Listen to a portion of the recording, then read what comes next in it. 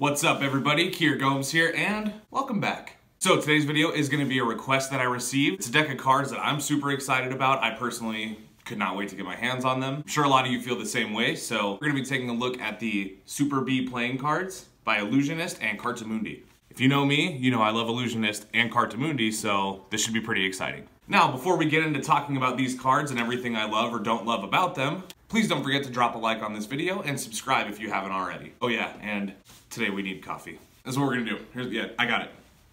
I got it. We're gonna, today we're gonna get coffee. We're gonna go get coffee. I'll take you with me to get coffee. We're gonna get the coffee, maybe something to eat. Might get something to eat. Then we're gonna roll the intro and then we'll do the rest of the video. We'll talk about the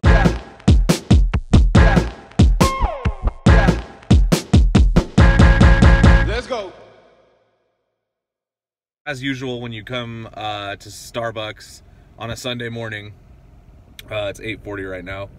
Uh, as usual, there are easily 15 cars in the drive-through ahead of me. It's like you lose either way.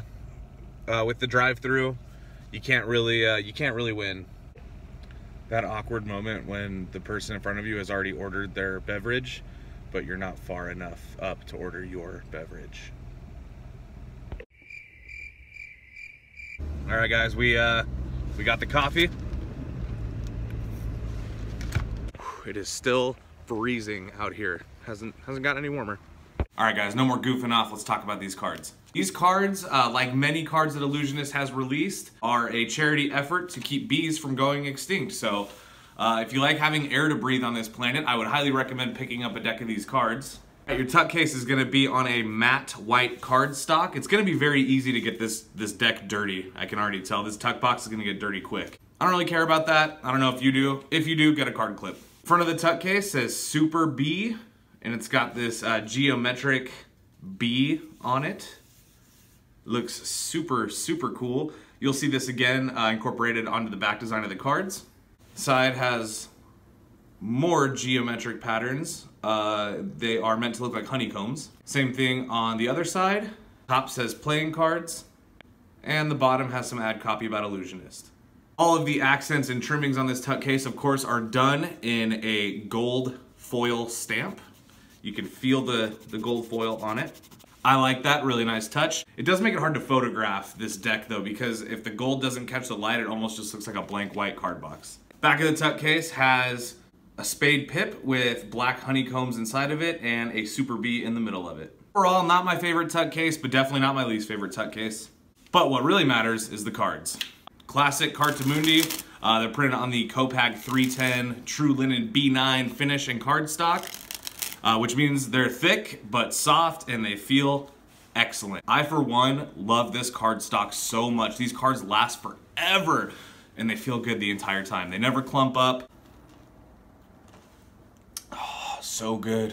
All right, so first things first, here's what the back design looks like. If I get up close, you should be able to see it, but um, from back here, you probably can't tell, but from here, you can see it's a super thin border. We're talking super thin. It has this gold honeycomb pattern with two super bees printed in each corner. All right, now this deck is fully custom, so let's start with the Ace of Spades. The Ace of Spades looks great. It's this uh, very tiny index, as you can see. Customized pips. To the rest of the cards, you can see they are fully custom. So again, tiny index, and then instead of having black spades in the middle, uh, they are gold. You can also see on all the cards, the pip placement is completely custom.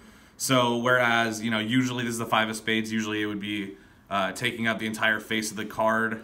Uh, they opted to do more of like a honeycomb pattern for the pips. All right, now the royalty looks super cool too. You can see this is the jack of spades. Is what the ace of diamonds looks like. So you can see now the the red cards are still red, but they're more of like a maroon red, but still with the gold pips in the center. Queen of diamonds. You are gonna get two jokers that are not identical, which is fine, but you can see this one says Super B. Definitely an interesting joker for sure. Very busy, a lot going on. It almost looks like notes, uh, or like what should be notes, like that you take in geometry. Next joker looks like this. Now, as far as ad cards and gaff cards, you're not gonna get any gaffs with this deck, which is a little bit disappointing. I would consider that a low point. You do get your standard Ellusionist ad card. Um, every deck printed by Ellusionist comes with one of these in some variation, basically just advertising the brand. I love Ellusionist, but I buy the cards from Ellusionist, so I really don't really don't think this is necessary. This basically, I wish we could just like swap if if we could just swap that out with a double backer. I'm happy. All right, now the other ad card you get has some information about uh, the endangerment of bees. This is actually pretty important stuff. And it also has a quote from Albert Einstein pertaining to bees. All right, so the handling of this deck, obviously, uh, we talked a little bit about it already. Handles amazing. Cartamundi's Copag 310 stock with the True Linen B9 finish is definitely uh, sweeping the playing card world. Ellusionist, I think, even exclusively prints with them now, so that should tell you something. I have no complaints about the card stock or the finish. If every deck I owned was on this card stock, I would be okay with that. So do with that what you will. Everybody has their own opinions. Actually, let me know down below if you agree. As thick as they are, and they are very thick, they spring effortlessly. They have that amazing new dribble sound. That's interesting. That almost like you almost can't even hear it. Listen.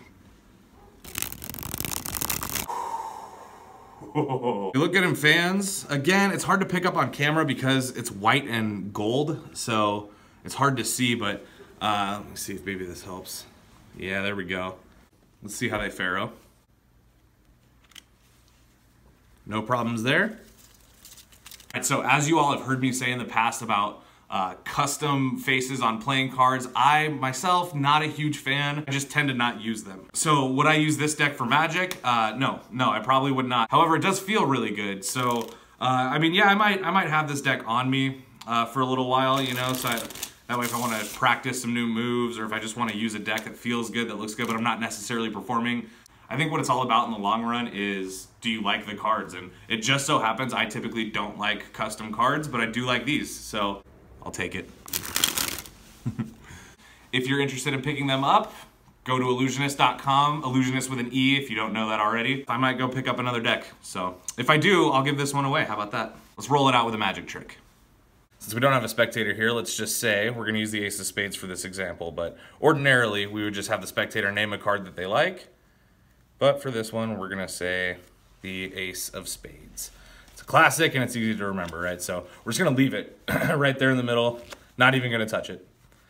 Now what we're gonna do is we are gonna take the top card, which is the three of clubs. We're gonna take the three of clubs, okay? Three of clubs, obviously not the spectator's card, but all you gotta do is just rub three of spades just like that, just brush it, and you're gonna get the ace of spades. All right, everybody, so that was my review of the Super Bees playing cards by Ellusionist and Cartamundi. Uh, go pick one up. I really like it. I'm definitely, definitely stoked about this deck. I like it a lot. It's pretty much gonna do it for us here today, but please do like the video if you haven't, subscribe if you aren't, and let me know in the comments what deck you would like me to review just for you. All right, guys, have a great rest of your weekend. I know I will. Peace.